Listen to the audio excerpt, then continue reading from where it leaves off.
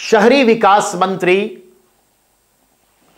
जो है सामने आपके, उन्होंने हरदीप सिंह पुरी ने कहा कि 2022-23 के संदर्भ में देखें तो हम 23 से शहरों का, नगरों का, वित्तीय रूप से वो कितना मज़बूत है फाइनेंशियली और ब्यूटिफिकेशन सौंदर्य के तौर पर कितना मज़बूत है, ऐसे लगभग 4500 शहर हैं जो एक लाख से नीचे की आबादी वाले हैं, एक लाख से दस लाख की आबादी वाले हैं, दस लाख से चालीस लाख की आबादी वाले हैं, चालीस लाख से ऊपर की आबादी वाले हैं, इनके ऐसे चार कैटेगरीज निकालेंगे।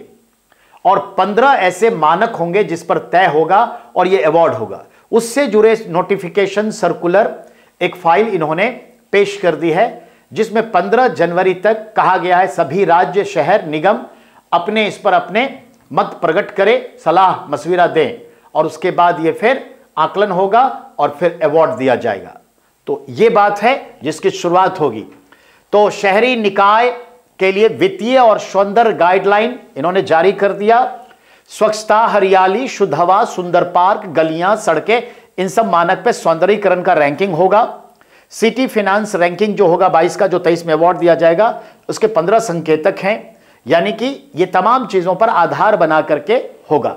तो ये एक अवार्ड अब नया शुरू होगा, यानी आप इसको अब रटना शुरू कर देंगे अगले साल से। अब बिहार वाले बच्चे बिल्कुल तैयार हो जाए।